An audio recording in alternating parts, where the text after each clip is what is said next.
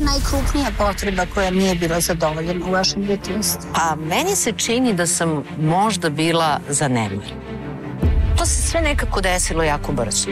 A, mi smo se venčali u roku od dva meseca. Stalno sam snimala, a sve vreme sam osjećala neku prazninu. Imala sam osjećaj da, da, da ja više nemam šta da dam.